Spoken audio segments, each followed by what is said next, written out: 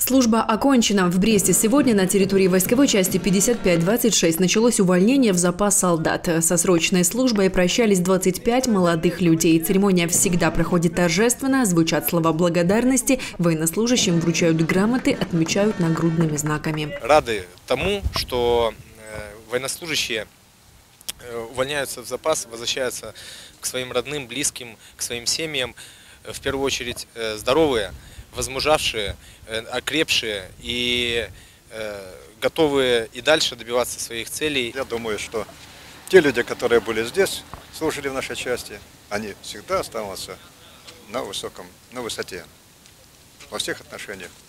Хорошими будут и мужьями, хорошими будут и родителями, отцами. Из рядовых в ефрейторы и младшие сержанты. Все они служили год-полтора, но единогласно отмечают, время с момента принятия присяги пролетело незаметно, но насыщенно. Многие из военнослужащих признаются, что поменялись и внутренне, и внешне. Первое, наверное, за что все благодарны, это то, что научили держать оружие и стрелять.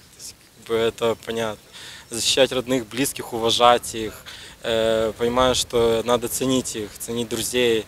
Вот что получил в ходе службы. Я пришел сюда 114 килограмм, сейчас я хожу 90 килограмм, как бы есть, есть к чему стремиться дальше, поэтому как бы я доволен. Сейчас такая тенденция идет, что ну, э, так сказать, мужчины э, не хотят идти э, в армию, потому что говорят, что это не нужно.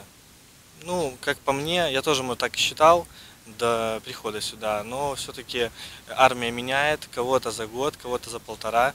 Э, ну и получается так, что каждый себе что-то изменяет. Кто-то становится мужественней, кто-то ответственней. Сегодня срочную военную службу в части проходят порядка 70 военнослужащих. Многие из них впоследствии устраиваются на работу в органы внутренних дел и остаются работать в силовых ведомствах и структурах. 27 ноября начнется учебный период с новым пополнением.